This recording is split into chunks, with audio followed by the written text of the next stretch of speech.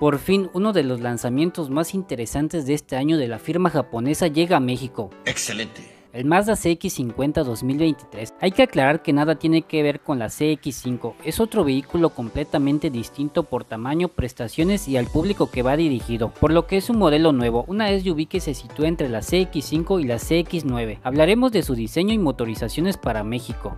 Qué buena onda. La CX50 es fabricada en Estados Unidos en la planta de Mazda Huntsville, Alabama, y solo se venderá en el mercado norteamericano, incluido México. Posiblemente podría verse en algunos países de Sudamérica. A diferencia de la Mazda CX5, el CX50 mide 4.75 metros de largo, es decir, 14.5 centímetros más que la CX5. También tiene una mayor altura al piso, aunque curiosamente la carrocería es 5.5 centímetros más baja y 7.6 centímetros más ancha con el fin de conseguir un aspecto más robusto. En cuestión del diseño se puede apreciar como una camioneta más robusta, con esos hombros y salpicaderas más anchas, una fascia más grande dando un diseño total de una SUV con un estilo menos cotidiano y más aventurero. Más allá de las proporciones, el diseño del CX50 se aleja del carácter elegante del resto de la gama. Su silueta es más cuadrada y los trazos son más toscos, y todo el perímetro del auto va enmarcado con enormes piezas de plástico sin pintar al estilo off-road, ya que cuenta con tracción integral, aunque tampoco tampoco hace el trabajo de una Jeep Wrangler, ya que no hay bloqueos mecánicos de diferencial ni cajas reductoras, pero sí cuenta con ayudas electrónicas para lidiar con caminos con poca adherencia y que ayuda a mantener el peso fuera del asfalto como en nieve, pasto o en caminos de terracería. Una de las claves del CX50 es el sistema de tracción integral que se apoya en la tecnología Jeep Vectoring Control y un nuevo programa Off-Road exclusivo de CX50 para cuando conducimos en superficies de poca adherencia, por lo que será una SUV compacta con características características más atractivas y completas dentro del segmento de camionetas. Es más bien una SUV para llegar a tus actividades recreativas para los fines de semana. Por dentro también llega el sabor aventurero. El tablero tiene un aspecto más tosco que el resto de la gama. Como todo Mazda contemporáneo, hay un montón de piezas suaves y texturas agradables. También podemos encontrar un techo panorámico, cargador inalámbrico, cuadro de instrumentos digital y analógico, pantalla de 10 pulgadas digamos que algo pequeña, compatible con Apple CarPlay y Android auto, sonido voz de 12 bocinas, en asistencias a la conducción encontramos freno autónomo de emergencia y control crucero adaptativo. A diferencia del CX5, el Mazda CX50 utiliza la plataforma de séptima generación de la marca, ya que el Mazda CX5 usa la sexta generación. Con ello gana un nivel superior de refinamiento, alto grado de aislamiento y sensaciones de manejo superiores. Bajo el cofre encontramos el conocido motor de 4 cilindros turbo de 2.5 litros, ahora Twin Scroll, capaz de generar 228 caballos de fuerza y 310 libras-pie de torque, transmitido a las cuatro ruedas mediante una transmisión automática de 6 velocidades. Este motor, como en otras aplicaciones, gusta por lo lineal de su respuesta, así que no hay nada de turbolag y siempre podrás sentir la potencia. El Mazda CX50 se lanzará en marzo del presente año. Está confirmado que llegará a nuestro país con el mismo motor turbo de 2.5 litros, con pinturas especiales como polimetal grey y arena. Se ubicará entre la CX5 y la CX9, pero todavía no se confirman versiones ni precios. El Mazda CX50 llega a México con un costo que podría ir desde los 700 mil a 750 mil pesos en su versión de entrada. Esto es un aproximado para competir con otros de los pocos SUV todo camino del mercado como la Toyota RAV4 Adventure, Ford Bronco Sport y Subaru Outback entre otras. Ahora sí comunidad, nos pueden compartir su opinión en los comentarios de esta Mazda CX50 por si tienen deseos de comprarla.